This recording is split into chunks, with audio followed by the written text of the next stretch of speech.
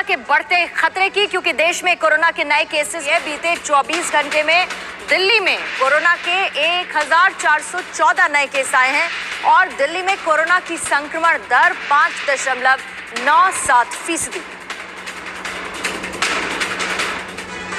देश में कोरोना के बढ़ते संक्रमण के बीच यूपी, बिहार, राजस्थान, महाराष्ट्र, दिल्ली समेत भारत में एक बार फिर से कोरोना वायरस फैलना शुरू हो चुका है, जिसके चलते अब नियम और कानून अपनाए जाने लगे कोरोना की गाइडलाइन जारी की जा रही है। यूपी, बिहार, राजस्थान, महाराष्ट्र, दिल्ली समेत कई राज्यों में मास्क अनिवार्य कर दिया गया है। कोरोना की चौथी लहर भारत में आ चुकी है, ऐसा कहा जाने लगा है। फिर से कोरोना पाबंदियाँ लगाई जानी शुरू कर दी गई हैं। लेटेस्ट अपडेट के अनुसार कोरोना के केसेस बढ़ने के कारण सरकारें भी चिंता में आई जिसके कारण अभी हाल ही में मोदी सरकार ने कोरोना पर एक अहम बैठक संपन्न की, जिसमें दो गज की दूरी मास्क है ज़रूरी का नियम अपनाने को कहा गया साथ ही साथ बच्चों और बूढ़ों में वैक्सीनेशन का कार्य तेज किया गया है। काफ़ी बड़ी अपडेट आ रही है। सभी